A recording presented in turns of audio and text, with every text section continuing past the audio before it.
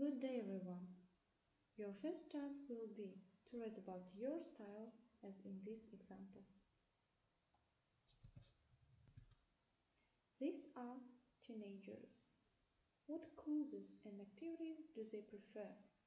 In order to answer our questions, let's read the text. British teen scenes. The skaters. As the name suggests, skaters spend as much time as possible on a skateboard. On Saturday after breakfast, they text, see you down the skate park, to their friends, grab their boards and go. Even when they are not skating, they are talking about it or watching skateboarding videos online. They don't like designer clothes. Clothes have to be loose to let them skate comfortably. Casual long-sleeved and short-sleeved t-shirts, sometimes both at the same time, hoodies, baggy jeans and trainers. They don't usually let their hair grow very long. Their music tends to be loud and fast. Punk, hip-hop and something metal. Besides skateboarding, they like hanging out with other skaters and playing computer games. The techies.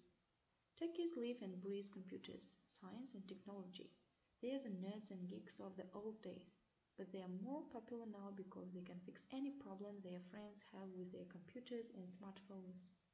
These whiz kids are as happy chatting online as in person, though most of their conversation is impossible for the average person to understand.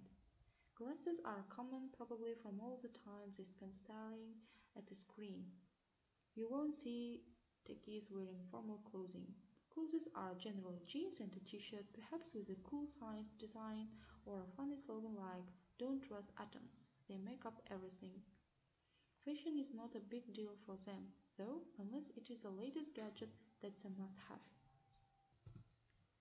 Now it's time to look at the translations of today's new words.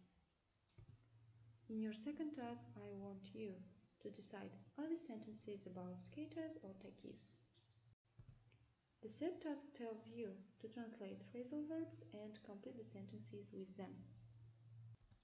In the task number 4, I'd like you to listen and match people to their favorite types of clothes. Hi Geoff, are you coming to the Jumble sale on Saturday? They have great second-hand clothes there. No thanks, that's more my sister's style. She often buys clothes from charity shops. You will never see her wearing designer labels. Well, I hope I find some tracksuits at the sale. I can never have enough of them. They are great for basketball practice and the gym. Good luck with the bargain hunting. So, what are your plans for Saturday? Actually, my sister's getting married. I've got nothing decent to wear. I need to buy a dark gray suit. Oh, that's a bit formal for you, isn't it? Well, it's true, I prefer my comfortable old jeans, but they just aren't smart enough. I suppose not. Hey, why don't I ask my brother if he could lend you something? He has got a wardrobe full of suits. Well, if you wouldn't mind, can you let me know by tomorrow? Sure, I'll give you a ring. Your fifth task is to write about teenagers in Kazakhstan. Is all for today. See you soon.